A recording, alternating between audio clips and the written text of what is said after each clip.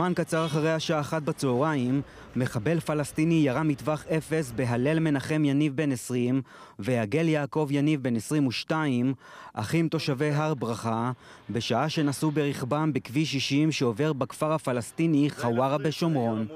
מה ראית שם? מה ראית בדיוק? בתוך הרכב, יש שם רכב אחד שהוא קטן יחסית, כאלה מהקטנים, בתוכו שוכב אדם, ואני שמעתי צרור יריות. אמני, תחרום! ונאו!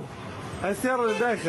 המחבל נעמד מול רכבם של השניים וירה לעבר חלקו הקדמי של הרכב באמצעות נשק אוטומטי 12 כדורים מאקדח בקוטר 9 מילימטר. שני האחים נפצעו אנוש, רכבם הידרדר ופגע ברכב אחר, ובדרך לבית החולים נקבע מותם. לפני שאני יורד מהאמבולנס אני אה, בקו פתוח עם מד"א מדווח על שתי גברים שוכבים בהחייאה מלאה, אני רואה שעושים עליהם החייאה מלאה. כשאני מתקרב אני מזהה את הגברים, אני מזהה את האנשים ומבין שזה חבר'ה שלנו מתוך היישוב, שזה כמו הבנים שלי. אמם של השניים, אסתי, סיפרה בשעות שאחרי הפיגוע על הפצע שנפער בלב. חטפנו פה סטירת לחי אדירה מהקדוש ברוך הוא. אני לא יודעת מה. אנחנו מנסים למצוא את הדברים הטובים ואת החסד שהיה לנו הכנה מוקדמת, שהיה לנו שבת משפחה, שעשינו תמונה משפחתית. הקדוש ברוך הוא שולח חסדים. יש לנו חור, חור ענק בלב. שום דבר לא יסגור את החור הזה.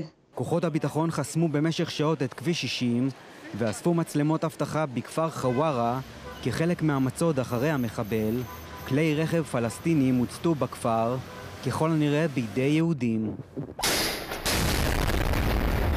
ההסלמה הביטחונית בצפון השומרון עלתה לשיא בשבוע החולף לאחר המבצע של הימ"מ בשכם שבמהלכו נהרגו 11 פלסטינים, רובם מחבלים חמושים.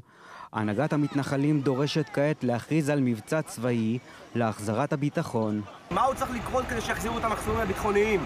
אני דורש מממשלת ישראל לצאת למבצע צבאי כנגד תשתיות הטרור ברשות הפלסטינית ולהדביר את הטרור הזה. אנחנו לא ניתן שדם יהודי יישפך לא פה בשומרון, לא בירושלים, בשום מקום. ואנחנו דורשים תשובות משר הביטחון. ובכל אופן אנחנו כאן. הערב יצאו מאות מתושבי גב ההר להפגנה בכפר חווארה בשומרון ודרשו מממשלת הימין לשנות את המדיניות. אנחנו בסוף חפצי חיים, אנחנו באים עם הילדים, אנחנו רוצים להראות שאנחנו כאן, ואנחנו חפצי חיים, ומי שחפץ בחיים ינצח. ויש אנשים יותר חכמים ממני שמקבלים אה, החלטות. אני בטוח שהם אה, מקבלים את ההחלטות הנכונות ביותר. הפיגוע בצהריים התרחש בזמן שישראל והפלסטינים מנסים להגיע לרגיעה בשטחים בתיווך ארצות הברית וירדן לפני חודש רמדאן. אם לשפוט לפי השטח, המצב כבר נמצא בנקודת רתיחה.